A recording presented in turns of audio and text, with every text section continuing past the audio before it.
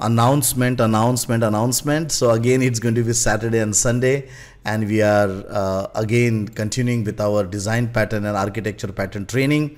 Remember that whatever we have covered till now, all the recordings have been uploaded on the website. Please go and see that. So till now, what we have covered, we started first with object-oriented programming.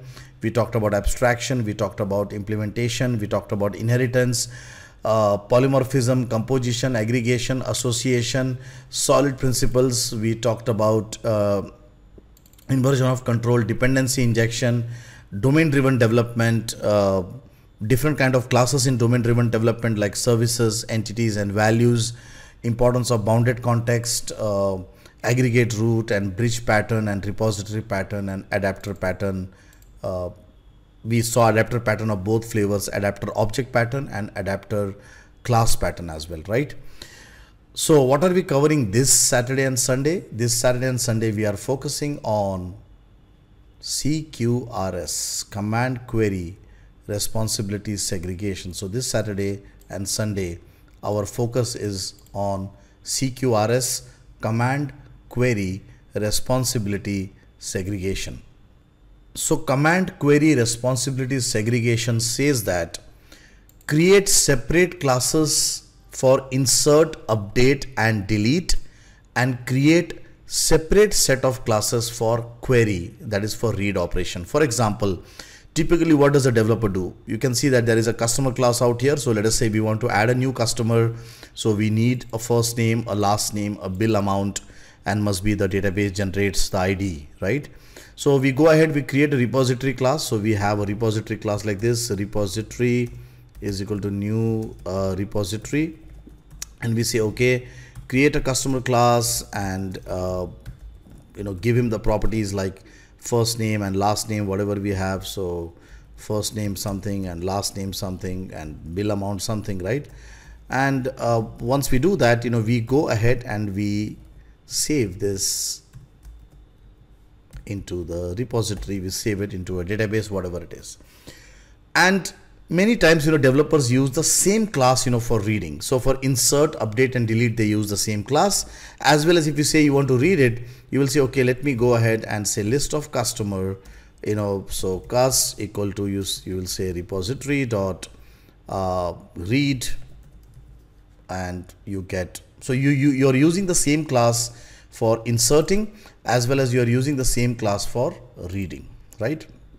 Now let us say when you're reading the customer class, you need some more properties. You say that, uh, you know, I want uh, to see that how many times, you know, the customer visited my shop, you know, so you'll say, okay, you know, uh, number of times, number of visits, okay, number of visits or you would like to say that what is the behavior of the customer? So when you know which is his which product does he buy and so on. So must be you will say okay i also want the behavior of the customer. I'm just using string for now right? Just it's, an indi it's an indicative kind of a, a property. So customer behavior okay? So now what is happening out here? Right here these two properties number of visits and the behavior right is needed only during the read operation. During the insert operation, we don't need it, right? And let us say while you are reading this uh, customer class, right? While you're reading this customer, you don't want to get the last name. First name is more than enough. So while reading, you don't want this. While reading, you don't want this. While inserting, right? While while doing the CUD operation, create, update, and delete, you would you don't want this right? Now think about it you know and and this list can go on right? You know some of the things you need in reading and some of the things you don't need in reading and some of the things you need in uh, insert update and delete and you don't need in reading right? This customer class is getting loaded for no reason right? And then later on what happens? You keep on loading this and this customer class becomes a god class. I, I, I, say that these kind of classes are god classes you know because they start loading everything. And these god classes are definitely a violation of s from the solid single responsibility principle that this this class is trying to do everything insert update delete read and whatnot right? So what the command query responsibility segregation principle says that just create them separately. Don't worry about reusability. Because what happens here is developers think start thinking about reusability. But as you think more about reusability as you are more inclined towards reusability remember that your class starts becoming complex right? And that complexity you know somewhere becomes more bad you know as compared to the small reusability advantage you get right?